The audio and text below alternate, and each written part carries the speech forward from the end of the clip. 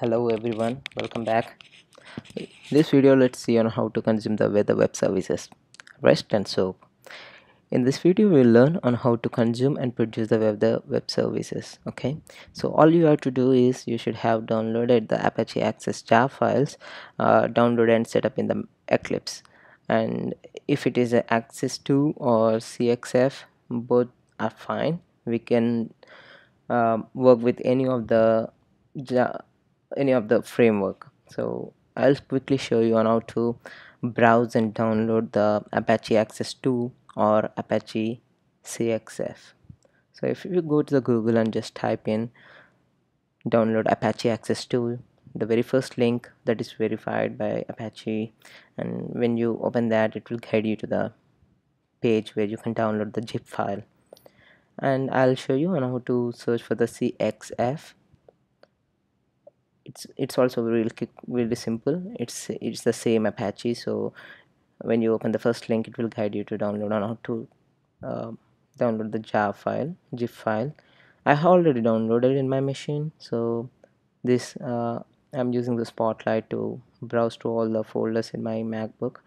So it's showing that i have already downloaded and let me show you Axis 2 this is how the file will be when you download. When i get into the folder jar file when i extract it when i extract the zip file this is how the folder structure and in the zip file i'll find all the all those jars. So let me roll back to the eclipse and uh, i'll get started by creating a new dynamic web project. Because we are dealing with the restful web services we do have to uh, make it dynamic. It's fine even if you create a java project but make sure you will be able to set up the uh, facets with the Apache CXF or Apache Axis 2 better go with the version of uh, 3.0 and make sure you'll check in the Apache Axis 2 web server and run in the run times you have to configure that and you'll uh, you'll you don't see anymore this kind of error like Apache Axis 2 web services so um, it, it takes a little bit of time and do a little bit of research on how to uh, set up the runtime. I have already did for the CXF and in the runtimes and in the um, details you can see on how I did. It, it should be pretty easy. And this is how you do even do with Axis 2 also. So check make sure you'll check those uh, any one of that and uh, click on ok so that will be uh, that will be that will load all the jar files needed for the our project. So I'm quickly naming that project as CFX CXF uh, web app. And uh, it would just asking ask for a Java perspective and because this is a J2EE project.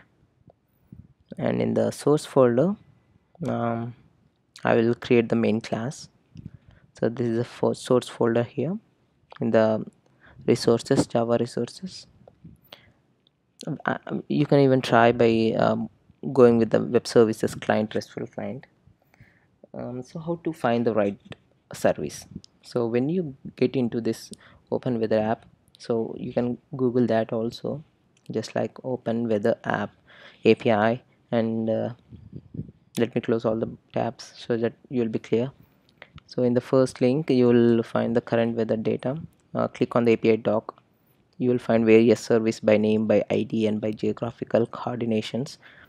In the coordinations you are giving an input uh, latitude longitude and also app ID so these are the three fields. So I just copied the URL and pasted it in the place and uh, right um, go enter the right package name and uh, it doesn't work for me but give a try. So what the other way is that create a java class uh, and uh, uh we'll write the java program on how to implement or consume this web service weather web service okay?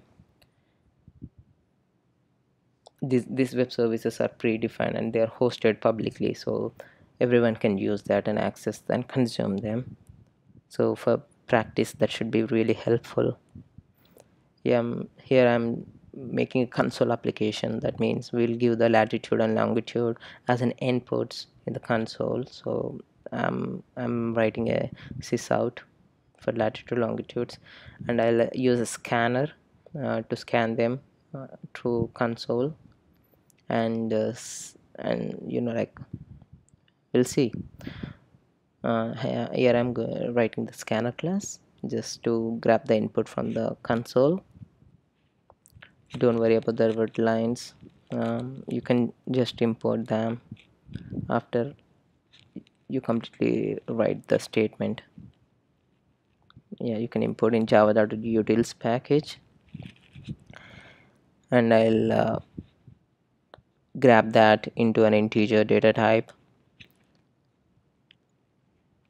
in the same way. I'll do it for the longitudes too latitudes and longitudes are the two input fields we are providing dynamically. So we have got the two fields in lat and long.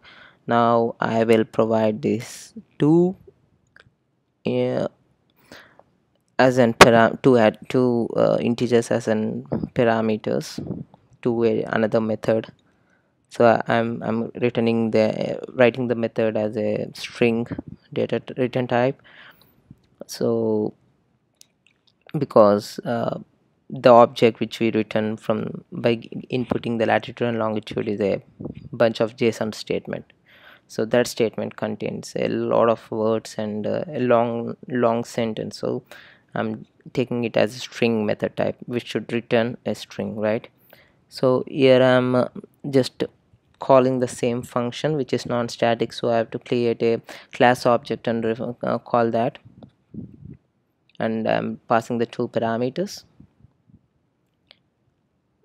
And uh, oh I think it's a integer so I should pass a integer in the parameters. Okay.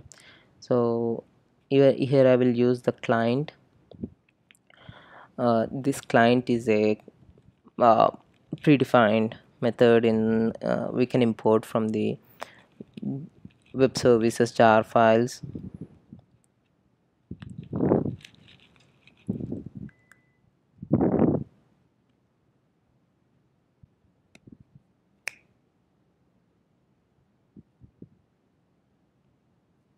I'm using a string buffer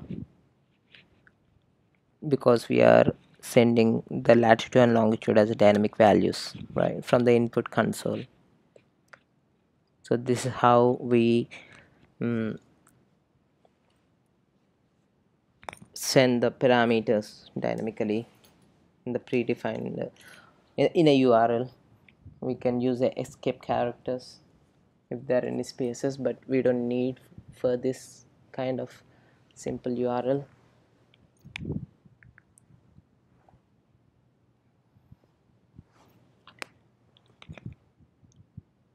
so I'm gonna um, grab this latitude and longitude but the app id it remains the same because eh, don't don't edit the app id it's a different thing uh, to gain the access to the service. Mm.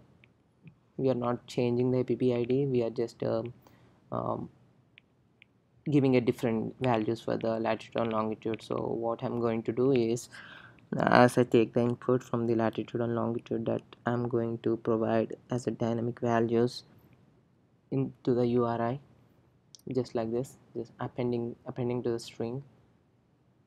So here if I give a latitude value as 1 it will come as 1 and also appended to the URI this is what I'm trying to do. And the longitude value equal to long lon so that it will dynamically gets into that url and process. So after i'm sorry uh, it should be web target. So web target from the web services we are trying to use. And web I'm, i'll just uh, write a value as target and client dot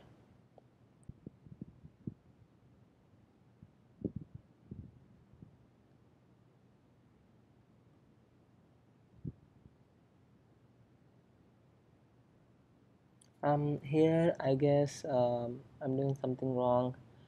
Um, no we don't cast the client but uh, there's something else I just missed.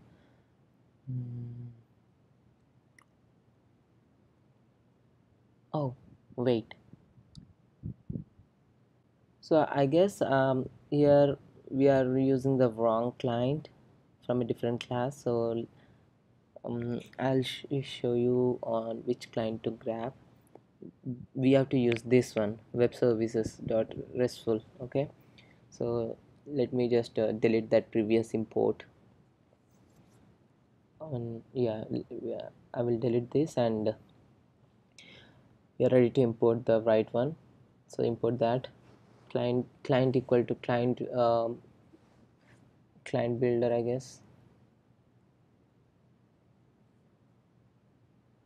here we are building a new client right? Client builder dot a new client right.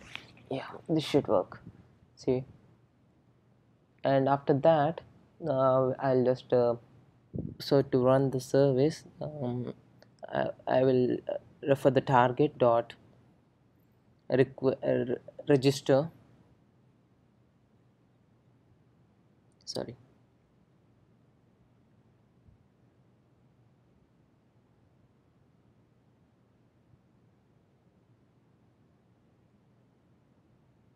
request sorry request uh, target dot request dot get of um, class dot objects just to print the what is getting from in the object. String dot class. I will just uh, output the following statement. And let's try for the first time. So I'm providing the latitude value of 34 longitude as 21 and give it few minutes. Here we go. Boom. We got the result. Cloudy or whatever it is. Like see clear sky you can see over there.